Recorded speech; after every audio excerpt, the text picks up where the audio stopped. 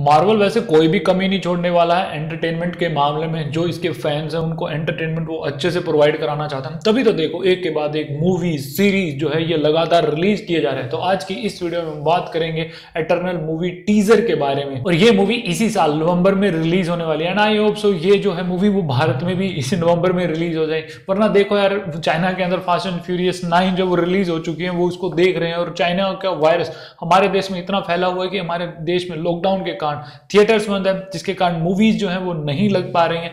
और अब पता नहीं कितना टाइम और लग जाएगा कि ये जो नॉर्मल होगा नॉर्मल होने की कंडीशन में लॉकडाउन तो भले कुछ टाइम बाद हट जाए, लेकिन ये जो कंडीशन है, वो नॉर्मल होने में कितना टाइम लगे, वो तो आने वाले टाइम पे ही छोड़ देते हैं। अभी उसके ऊपर कोई भी टिप्पणी नहीं करे तो ज़्यादा अच्छा है। तो अब इस मूवी की कहानी के बारे में बात कर लेते हैं। देखो एटर्नल के अंदर जो कहानी है, जितना मैंने इसके बारे में सर्च किया, कि धरती के ऊपर सीक्रेटली यानी रहस्यमय रूप से कुछ लोग जो है, वो रह रहे होते हैं।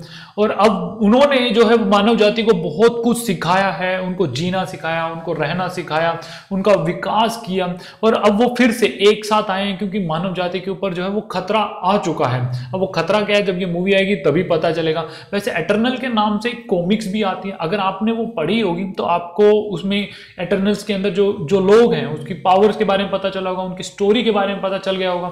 मैंने नहीं पढ़ी तो मुझसे उम्मीदें मत लगा लेना। शुरुआत में इस टीजर के तो एंशियन टाइम दिखाया गया, फिर अचानक से एक शिप आती है, और उसके अंदर जो एटर्नल की जो टीम है, जो एटर्नल्स अपने आप को कहते हैं तो ये इन लोगों को रहना, जीना, सब कुछ सिखा रहे होते हैं तो ऐसा इसमें दिखाया गया है।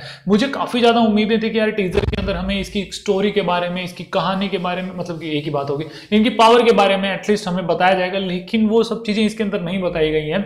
आई होप सो मे भी जब ट्रेलर आए, तब उसके अंदर पता चल जाएगा। अगर ट्रेलर में नहीं तो जब मूवी आएगी, तभी पता चल जाएगा। और एक बात जो मुझे काफ़ी ज़्यादा पसंद आई इस मूवी के अंदर कि भाई मूवी के मतलब इस टीजर के अंदर कि इसमें जो कास्ट है, वो काफ़ी ज़्यादा है, जो बढ़िया लगा मुझे। ओवरऑल टीजर की बात करूँ तो इसकी प्रेजेंटेशन मुझे बहुत ज़्यादा पसंद आई। इसके अंदर थोड़ी बहुत हमें झलक देखने को मिल जाती है।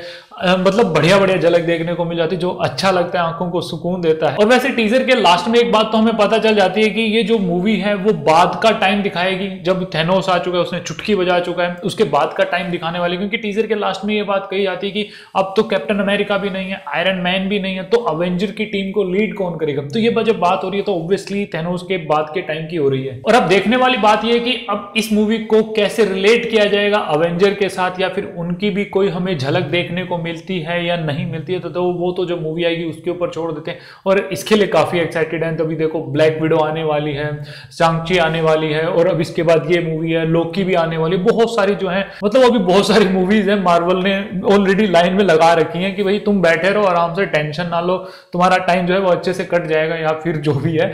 तो अगर आप लोगों ने टीजर देखा, आप लोगों ने इसकी कहानी के बारे में कुछ भी पता है तो प्लीज़ अपनी कहानी मतलब जो इसकी कहानी वो मेरे साथ ज़रूर शेयर करना। तो बस आज के लिए इतना रखते हैं इस वीडियो में। Thanks for watching this video मिलते हैं नेक्स्ट वीडियो में। जय हिंद।